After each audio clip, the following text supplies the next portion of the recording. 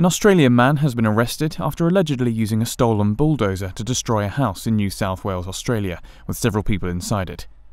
56 year old Deborah Kerr and her two daughters were inside the house in Teralba, south of Newcastle, when she thought she heard a refuse truck arrive at the house.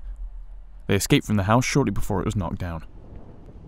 Police arrested a 48 year old man at the scene after he allegedly drove the bulldozer towards another man who had been sleeping in a shed in the garden. The suspect is expected to be charged with several offences, including an attempted murder. The bulldozer was also driven over several cars.